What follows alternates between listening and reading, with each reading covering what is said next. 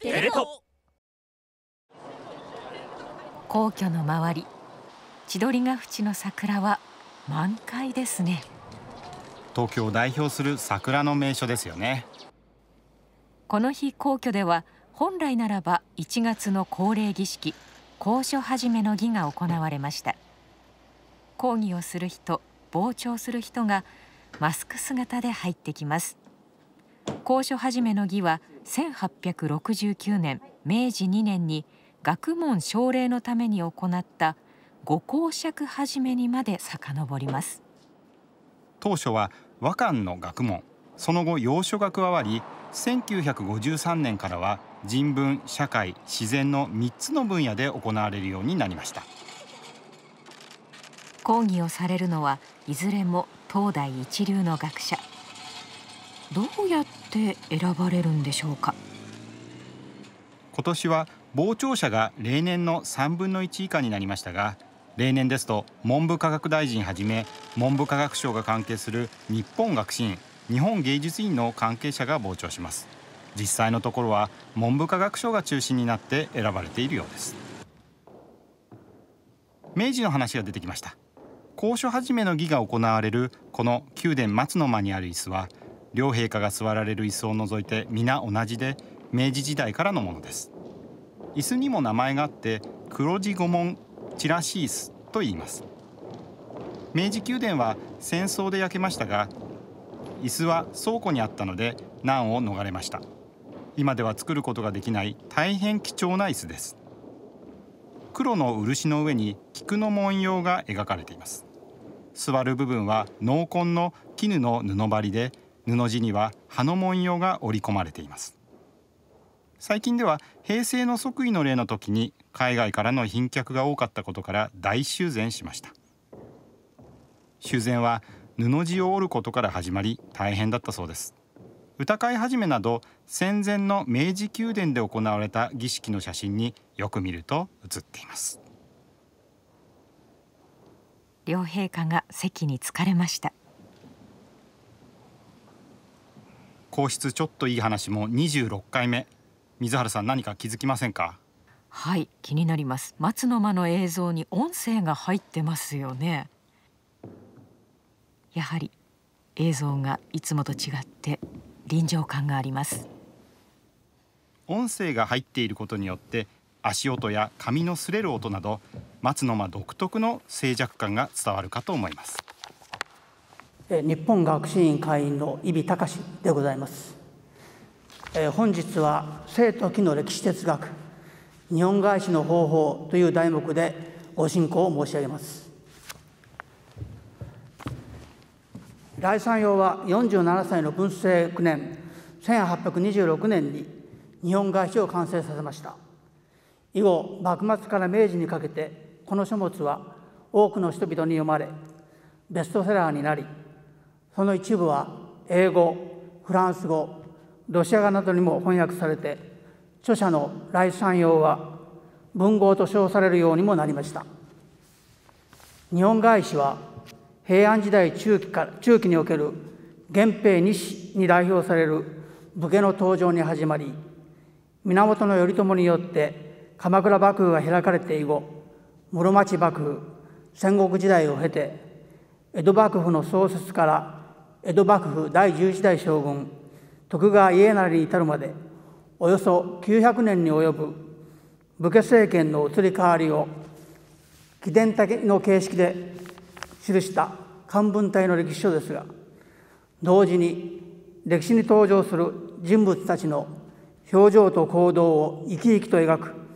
文学作品でもあったことが著者来山用が文豪と称された理由であろうと思います。日本返しが優れた歴史書であるとともに人々を引きつける歴史文学でもあり得たのは歴史というものにものは何を原動力にして展開していくものなのかそしてその歴史の展開に人間はどのように関わりうるのかという著者来山用の歴史哲学にいるところが大きかったように思われます。そのことを申し上げる前にまず日本返しという書物がなぜ来山用によって書かれたのかということに触れておきたいと思います。来山用は大阪の町寺社来春水の息子として大阪に生まれましたが父春水が広島藩主に招聘されたため一家は大阪から広島に移り住みました山陽は頭脳明晰な子供であったようですがそうした子供にありがちな神経過敏なところもあったようで幼い頃から時々突発的に精神が不安定になる神経症の発作を起こしていたことが父春水や母梅氏の日記によって知られます。完成12年1800年21歳の山陽は来家の本家があった竹原の大王子が亡くなったため父春水の名代として広竹原まで弔問に出かけました。その時父の春水は江戸藩邸に赴任中で広島を留守にしていたからです。ところが広島から竹原への途中で持病の神経症の発作を起こした山陽は突如姿をくらませて広島藩を脱藩し京都に潜伏しました。2週間ほどの後に京都で身柄を確保された山陽は広島に連れ戻され屋敷内に急遽作られた座敷牢に閉じ込められ来家の後継ぎとしての身分を解かれるいわゆる廃着処分を受けました。座敷牢での3年に及ぶ幽閉生活の中で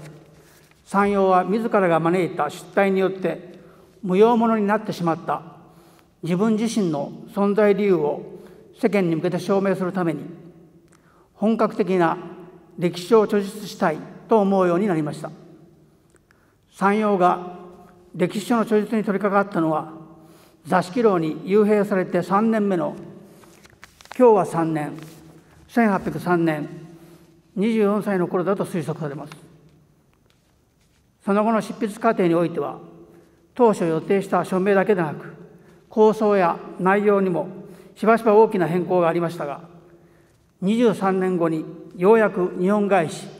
22巻として完成されました。このようにして完成された日本返しの根底を形作っている山陽の歴史哲学は生と気という概念で説明することができるように思います。山陽は日本返しの完成後晩年に日本世紀というもう一つの歴史書の編纂に取り組みましたこの日本世紀という歴史書は神武天皇に始まり江戸時代初期の御用税天皇に至る歴代天皇を標目として記述した変年体の通史ですがその牧野宮の崇徳天皇の上に次のような文章があります。来昇る昇は山陽の名前です。いわく死に尊ぶところのものはその時を知るをもってなり時に生あり木あり生の推移するところ木の起伏するところは必ずしも知りがたきにあらざるなり。しかりにこれを知るなきは覆うところあるのみ。つまり時すなわち歴史はを展開させる要因には生と木というものがありこの2つの要因が相互に絡み合って歴史は推移するがこの2つの要因は覆い隠されていて歴史の表面には現れないものである。しかし世を治めるという任務を武士にとって歴史を展開させる要因である。生と木を深く洞察することは重要だと言っているのです。山陽の言う歴史における生と木という概念をもう少し詳しくご説明したいと思います。山陽は日本返しの著述と並行して通義という書物を執筆していました。この通義という書物は現実の幕府政治に対する批判的な視点からどのような政策が採用されるべきかを提言した形成論として書かれたもので全部で18の論からなっていますがその中に論性性を論ず論気気を論ずという論が含まれており山陽が生と気という歴史哲学上の概念をどう捉えていたのかが明らかにされています。まず論争において性というものを三葉は次のように説明しています。天下の文豪知らん暗記するゆえんのものは聖なり聖なるものは善をもって返事善をもってなる。人力のよくなすところにあらずしかるにそのまさに変然としていまだならざるに及びてよりてこれを誠意するはすなわち人にあり人は性にたがうことは問わず思考して性もまたあるいは人によりてなる。卑しくも委ねてこれ聖なりと言いてあえてこれが計りごとをなさざる。これが計りごとをなしてその性によらざるは皆性を知らざる者なり。天下の文豪知覧暗記。すなわち歴史の推移ということですがその推移の原動力が性でありこの性は人間の力を超えたものとして存在していると三葉はまず言います。そして性が人知を超えたものであるならば人間は歴史の推移に対して無力なのかというと決してそうではなくその性を誠意コントロールする役割を人間は担っており何よりも歴史の性というものは人間によってしか現実化されないものであるから歴史に働きかけようとする人間は性というものを知らなければならないと述べているわけです。こうした人知を超えた歴史の原動力である性に対し人間が歴史に関わりうるという根拠を示すために、えー、提示された概念が「気」という概念です。三葉は数記の中の論記において木というものを次のように説明しています。木にあらざるはなきなり木のものにある。その最も大なるものは天下たり。天下はよく動くのものなり。おさうればすなわち高まり。あぐればすなわち伏す。洋館揺れることには安く。異性コントロールには形。これを百姓の久しきに異性し思考して洋館ながらしむるには必ずその木あり。木の最大にしてよく動くものもまたこれを制するに木をもってす。木なるものは一日に万遍し大挙して極まりなきものなり。木というものはあらゆる局面に存在すると三葉は言っています。例えば個人と個人との関係。あるいは小さな集団や組織の中などにもありますが木の存在する最も大きな局面は天下であると述べています。しかもその木というものは一瞬たりとも停止することなく常に変化しているとも言っています。そもそも木という漢字のもともとの意味は中国の五漢の魚神という学者が表した説問開示という書物に発するを司るこれを木というと解説されています。古代中国の土球という大型のバネ仕掛けの弓を指の発射装置を意味していました。つまり木とはさまざまな物事や局面においてその物事のや局面のに次の動きをもたらす装置仕掛けのようなものを意味していると捉えることができます。歴史の一瞬一瞬における力学的な構造。しかもそれは刻々のうちに変化している。それを三葉は木と呼んだわけです。つまり三葉は歴史を動かす原動力の時間的な変化の概念を生と名付ける一方歴史を動かす原動力の一瞬一瞬の空間的な力学構造を木と名付けこの2つの要素が相連動しながら歴史は展開すると説明したのです。性によってもたらされる歴史上の知らん攻防すなわち政治権力の推移というものを人間は対極的にはあるいは究極的には変更することはできないと三葉は言います。しかし性によってもたらされる歴史上の知らん攻防の具体的な在り方については歴史における一瞬一瞬の局面の木を洞察しそれに働きかけて新たな木を作り出すことによって人間がコントロールすることは可能であると三陽は考えました。つまり常に変化している歴史的な局面の木に働きかけることによって人間は歴史の在り方に積極的に関与でき歴史を具体化することができると三陽は考えたわけです。こうした歴史における生と木という概念設定と両者の相関的な関係の認識にこそ三陽の歴史哲学の特徴がありました。三陽の父の来春水は江戸時代後期を代表する朱子学者の一人でしたので三陽もまた儒学の系統としては朱子学を学びました。したがって儒教的なとりわけ主学的な歴史観によって中絶された中国の宋の時代の芝公の史実眼や手記の史実眼項目に見られる完全懲悪的な寛解士官や時の政治権力が正しい名分を有する政党であるのかあるいは名分を乱す順当であるのかを明確にして歴史を批評する名分士官の影響下に産業の日本返しがあったことは否定できません。しかしこのような儒教的な明教主義的歴史観だけを遵守して書かれた歴史書というものは結果的には後の時代の視点に立って歴史を裁断するという政治的なものにならざるを得ません。もし三陽がこうした儒教的朱子学的な歴史観だけによって日本返しを著述したとすれば日本返しは多くの人々に読まれるダイナミックで魅力的な歴史書にはならなかったでしょう。山陽の生と木の歴史哲学は日本返しの二十数年に及ぶ長い執筆期間中に古代中国の兵法書孫子や前漢の鍵の心情などからの影響も受けつつ歴史資料や文学作品から得たさまざまな個別具体的な歴史的事実を整理し関連づける作業を積み重ねる中で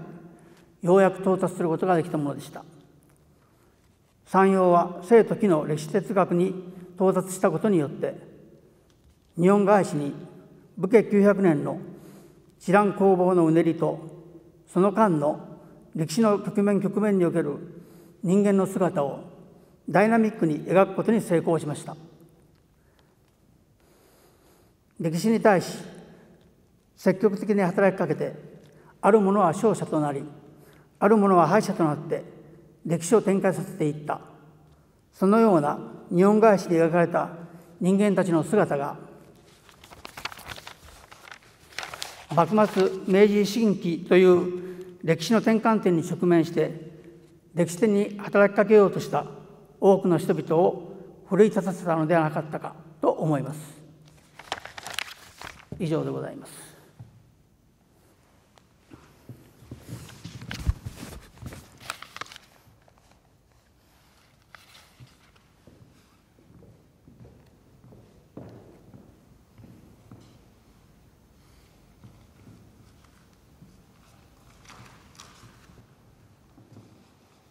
続いては兵庫県立大学の伊予木部誠理事長です。伊予木部さんは宮内庁の参与です。交渉始めという場でなくても本来両陛下の相談に乗る立場の人です。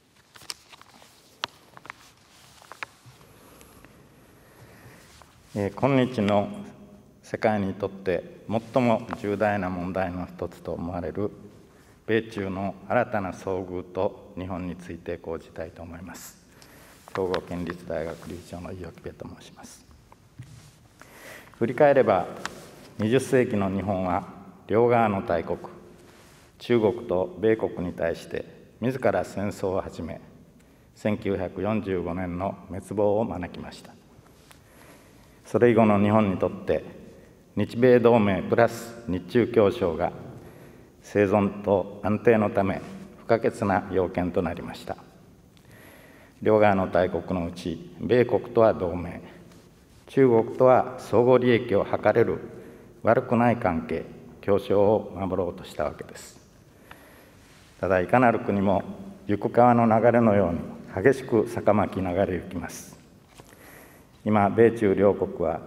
地上の二大国として再び相まみえようとしています。両国はどうエンゲージするのでしょうか。エンゲージリングは婚約指輪でありますがもともと剣と剣の先が交わるのがエンゲージです。対決と協力の双方を含みつつ米中は新たな遭遇の時を今迎えています。その奇数によっては日米同盟プラス日中協商という日本外交の要件も失われるかもしれません。ここで米中両大河の流れを振り返っておきたいと思います。まず米国という大河の歴史を見ておきたいと思います。近年オバマ・トランプと2人の大統領がいずれも米国はもはや世界の警察官ではないと述べたように撤収と孤立主義への衝動が示されています。これは20世紀の第二次大戦後の米国には新現象ですが建国からの歴史を見れば驚くに値しません。ジョージ・ワシントン初代大統領の離別演説は欧州諸国との同盟を禁ずる方針を打ち出し19世紀前半のモンロー宣言は米国とヨーロッパの相互不介入を主張しました。19世紀半ばの南北戦争後米国経済の巨大化と科学技術革命により米国にとって世界的な経済的関与が不可避となりました。20世紀になり再度の欧州初の世界大戦に米国はためらいつつ参戦しましたが戦乱に陥ってからの介入はかえって高くつくので孤立主義を卒業し日頃から国際政治に関与した方が良いと考えるようになりました。第二次大戦中の米国は2つの大仕事すなわち戦争遂行と戦後計画の双方に立ち向かい主に2つの戦後秩序を築きました。一つにはブレトンウッズと呼ばれる自由貿易体制です。ガット IMF 責任に代表される国際経済秩序です。もう一つは国連体制です。侵略戦争など力による現状変更を禁止する。5人の警察官すなわち国連安保理において拒否権を持つ五大国を中心とする平和と国際秩序です。米国は第二次大戦後の新秩序を作り運営する中軸となりパックス・アメリカーナの世紀とまで呼ばれるようになりました。しかし秩序を担う大国は偉大さをまといつつも他方で大きな負担に苦しみます。またベトナム戦争イラク戦争の失敗は米国にとり大きな挫折であり後退でありました。ついにオバマ・トランプ両大統領が米国はもはや世界の警察官ではないと発言するに至ったわけです。秩序維持に疲れ引きこもりの季節を迎えたかのようです。しかし米国は本当に引きこもりたいのでしょうか。そうであれば後の世界は中国やロシアの欲するままに任せるということでしょうか。トランプ政権時のペンス副大統領が2018年10月に行った中国を激しく糾弾するワシントンコンセンサスと称された演説は米国が世界秩序の担い手を中国に譲るつもりはなくむしろ米国に対する危険な挑戦者中国を退ける意思を示したものと言えましょう。思えば一人引きこもる孤立主義も全能の幻想にくるまれた一極支配も共に両極の単独行動主義という誤りではないでしょうか。双方を避け他国と共に協力して世界を回す本道に立ち返るべきではないかと思います。その点トランプ前大統領と異なり国際協力を重視するバイデン新大統領の手腕が注目されます。では次に中国という大河を振り返っておきましょう。中国にも歴史的な二極分解が認められます。一方で漢の武帝以来2000年にわたり王朝の隆盛期には唯一の宗主国超法規的存在として雲の上に頭を出して他国を下に置く中華帝国でした。他方中国は19世紀半ばのアヘン戦争以来近代西洋に遅れ屈辱の100年を経なければならずとりわけ対日敗戦に傷つきました。屈辱の100年を克服して世界強国を施行するのが今日の中国と見られます。それを可能にしたのは新中国の動乱を克服した鄧小平の改革開放政策でした。以後の中国は世界の市場経済に加わることによって大発展を遂げ2010年には日本を抜き世界第二の大国に躍進しました。躍進する中国は経済力については1980年より30年にわたり年平均10%の高度成長を持続しました。また軍事力については冷戦終結後の1990年代から4半世紀にわたり彼らが発表する国防費だけで約50倍になると大軍拡を続けました。ちなみに戦後日本は1977年の福田赳夫首相がマニラで表明したようにたとえ経済大国もなっても軍事大国とはならない路線を歩みましたが中国は総合国力論に立ち経済力と軍事力を両輪とする伝統的なパワーポリティクスの立場を持していると見られます。その契機として2008年の北京オリンピックの成功とリーマン危機後の4兆元の巨大財政出動により中国が世界経済を支えたことが大きな弾みとなったと。思われます。その翌年2009年には鄧小平の遺訓投降妖怪牙をむいたりせず謙虚に力を蓄えるべしという教えを卒業するべき時が来たとの主張が中国内で高まりました。その後2010年と12年の尖閣事件に際して中国内で反日暴動が巻き起こりさらに2014年を中心に中国は南シナ海南沙諸島での埋め立てと軍事化を強行しました。この中国の動きに対して国際的反発が生じたのは当然でしょう。2015年11月より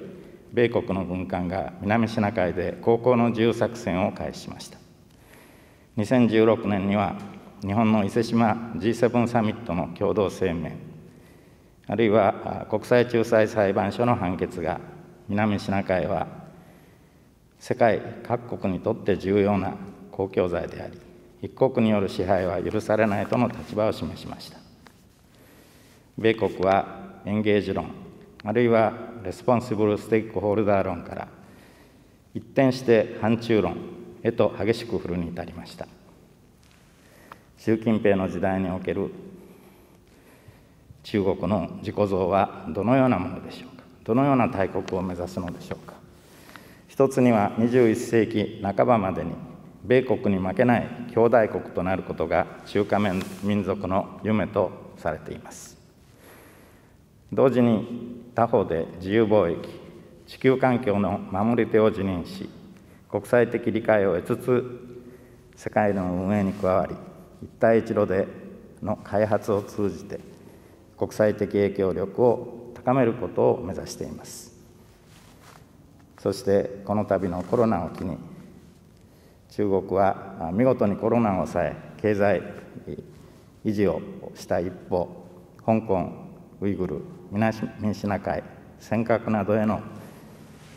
支配拡大の試みを一層強化しそれへの国際的な懸念が広がっています。では米中対決の行方はどうなるでしょうか？3つのレベルの米中対決が注目されます。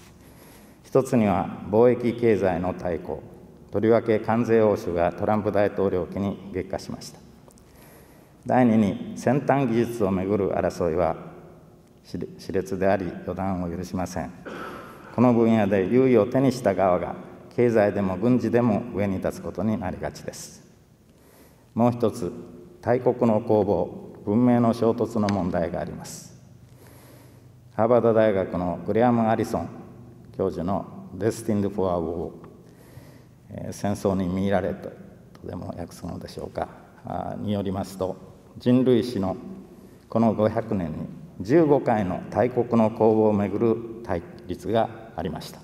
そのうち11回が戦争に帰結したとしています。逆に言えば4回のみが平和的決着を見ましたがそのうち2つが重要であると思われます。一つはパックス・ブリタニカからパックス・アメリカへの平和的移行が19世紀から20世紀にかけて展開されたケースです。もう一つは米ソ冷戦の平和的な終結が実現した事例です。これには各時代の相互確証破壊ミューチュアルやシュアディストラクションつまり共倒れが不可避な状況。それが戦争を困難にしたことが大きく作用したと思われます。今日の米中間でも戦争不可能な核状況にある点実は米ソ冷戦期と変わりません。では今後の世界はどう展開するでしょうか。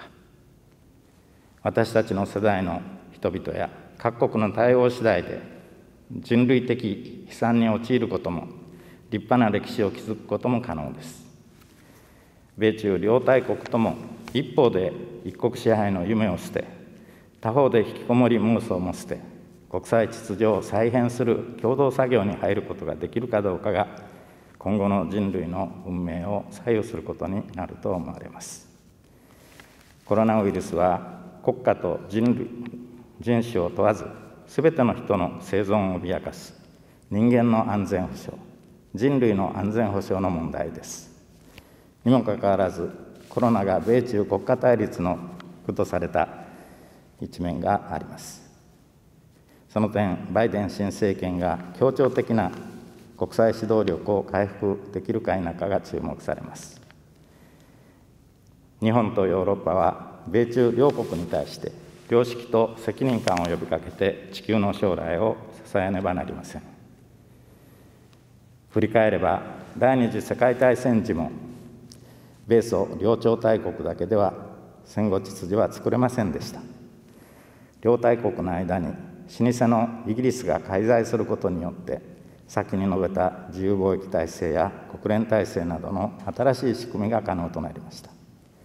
今後のルールメイキングにあっては日曜の役割が不可欠でしょう。バイデン時代には米中に日欧が加わって新世界の在り方を再検討することが求められます。もう一つのポイントは中国の目覚め覚醒であります。世界から信頼され尊敬される大国中国の誕生が困難ながら重大な課題となると思われます。世界は中国を導くことができるでしょうか？米中の対立は戦争に突き進んではならない。部分緩和だけでも解決しない。米中両大国が協力部分を広げながらさらに双方が必要とする国際システムを共同で創造することによって人類に対する責任を果たさねばなりません。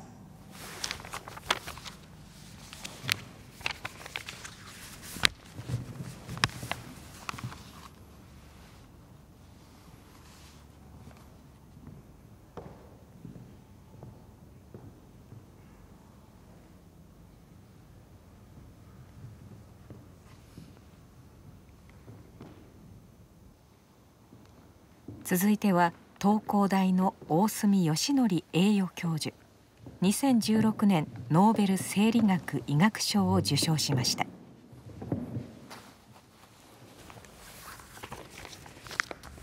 え日本学進会議の大隅義則です。本日は細胞のリサイクルの仕組みという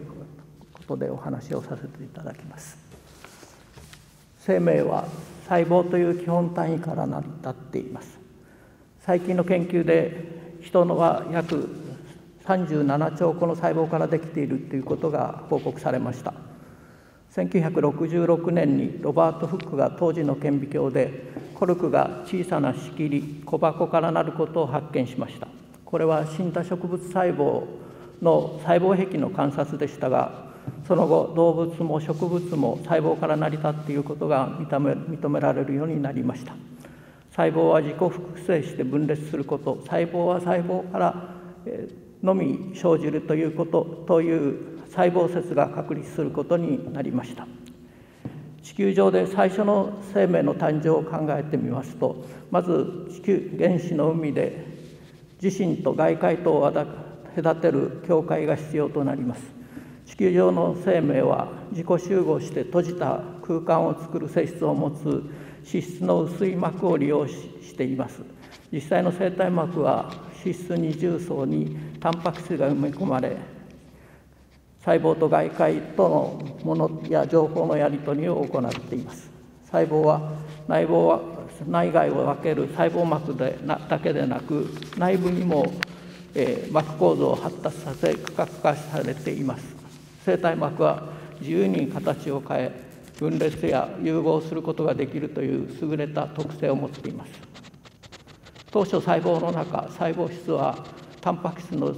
均一な水溶液だと考えられていましたが細胞の中に各ミトコンドリアなどが次々と発見され膜で囲まれたオルガネラが存在しそこにはそれぞれ特異的なタンパク質が存在していることが明らかになりました。それによって核が遺伝情報発現の制御ミトコンドリアがエネルギー通貨である ATP を合成するなどそれぞれの機能を発揮します。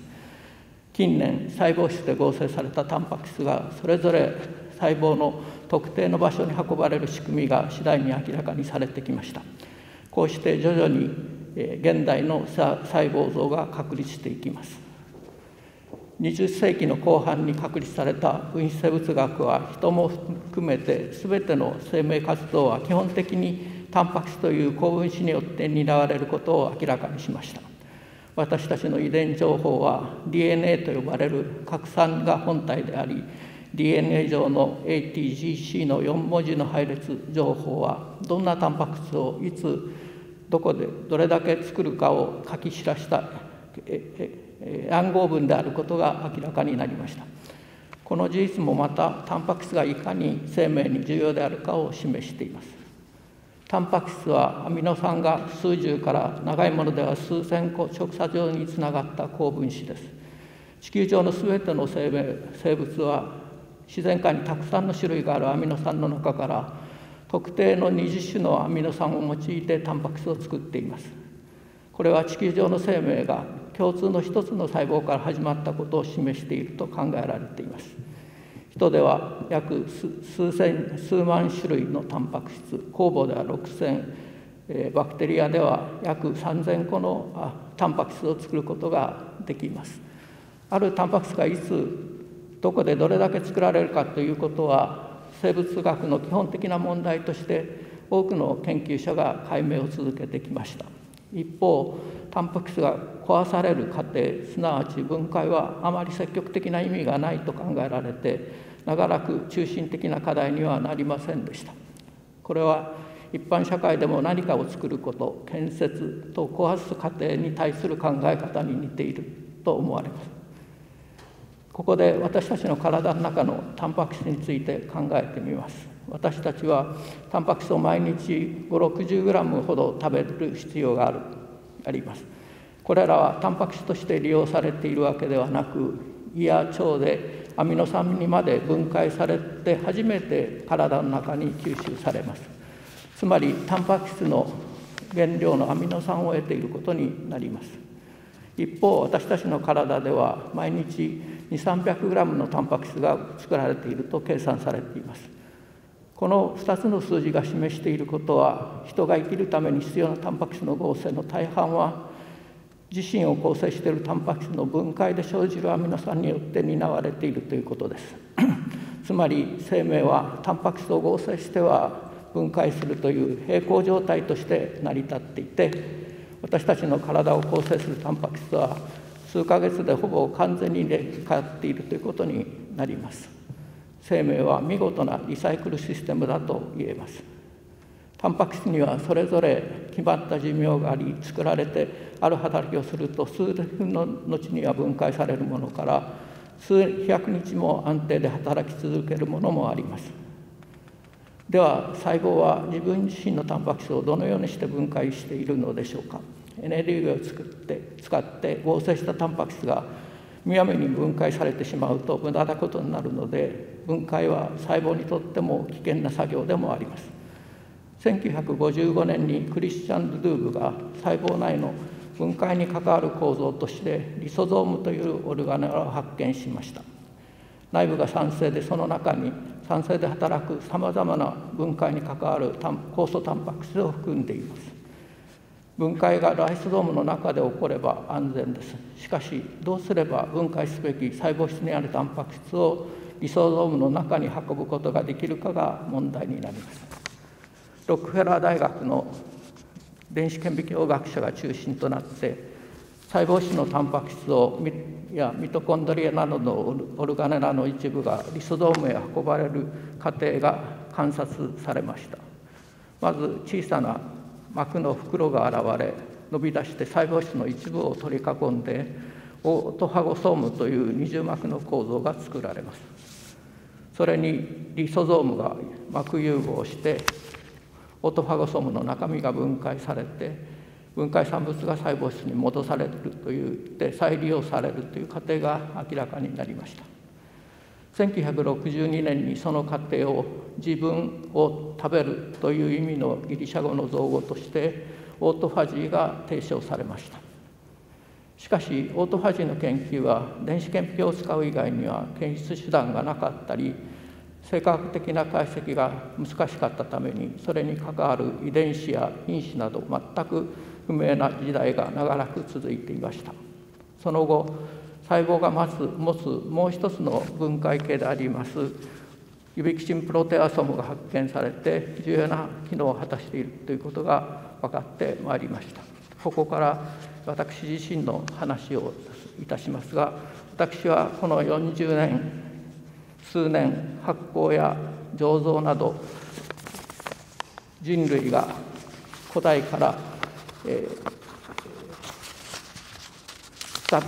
利用してきた酵母小さな単細胞生物を実験材料にしてまいりました。酵母は私たちの体を構成する核を持った真核細胞のモデルとして生物学に大きな貢献をしている生物でもあります。私は酵母の液胞に興味を持ち液胞の内部が酸性に保たれてアミノ酸などの貯蔵庫として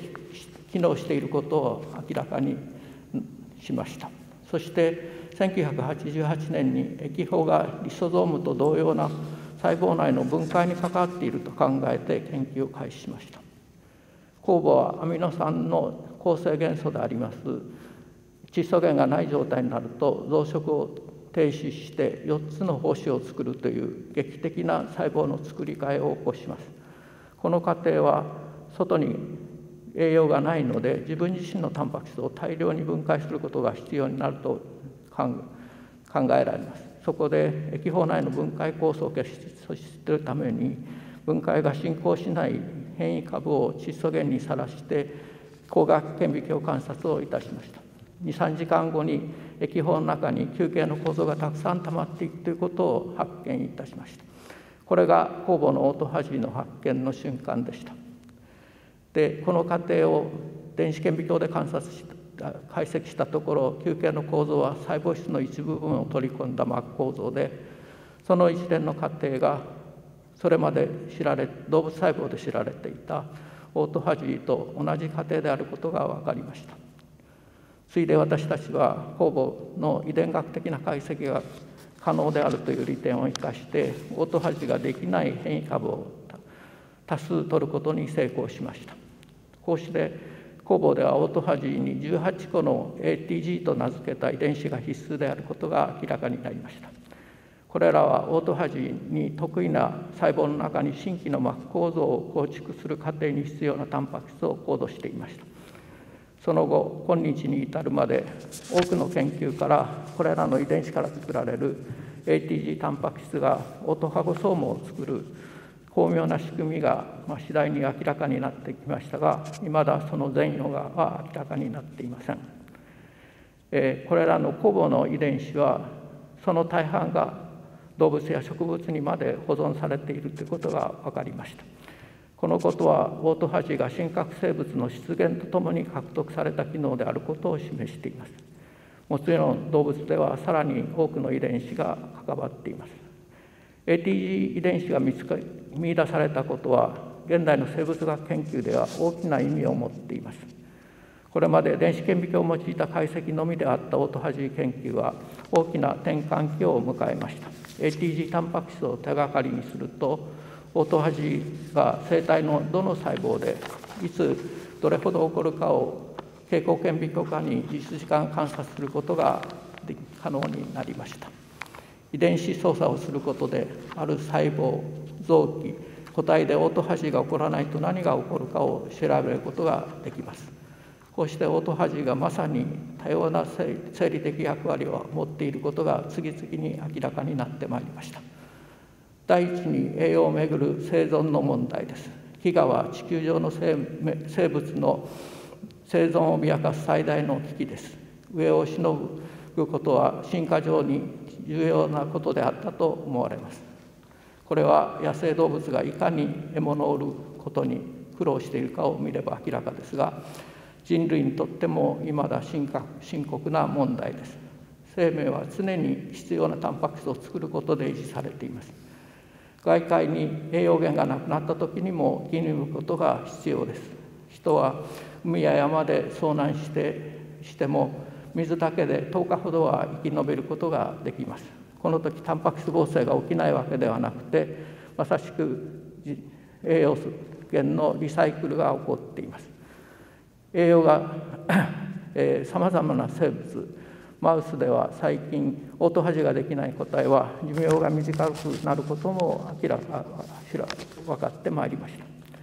第2には分解すること自身が重要なことであります。生産工場では不要品ができることは避けられません。生命体も全く同様に細胞内に不良品ができたり老朽化して不要になったり時には有害なものを生じます。細胞が正常な機能を営むためには工場と同じように品質管理が重要になります。オートファジーはこのように過剰なもの不要になったもの危険なものを取り除く働きを持っています。神経細胞は分裂によって増えることがありませんのでとりわけ品質管理が必要になります。実際オートファジーができないマウスは神経細胞にタンパク質の異常な凝集体がたまって異常をきたし細胞死が起こりいわゆる神経変性疾患用の病態を示します。高齢化社会の大きな課題であるアルツハイマーやパーキンソン病などの加齢性の神経変性疾患をオートファジーを更新することで発症を遅らせることが期待されています。一方がんとの関係も大きな課題です。がん細胞は旺盛な増殖能を持っていますがそのためにはオートファジー活性が必要とされます。したがってがん細胞を特異的にオートファジーを抑えることでがん治療につながると考えられています。オートファジーは細菌やウイルスなどの感染防御にもかかっています。ある種の細菌が細胞質中に現れるとそれをオートファジーでリソゾームに送って分解するからです。オートファジーの解明は現代現代人が抱えている生活習慣病の解明や健康な生活を維持するための基盤になる情報を与えることが期待されています。現在このようにオートファジーをめぐってその応用面医療との関係が大変大きな関心を呼んでいます。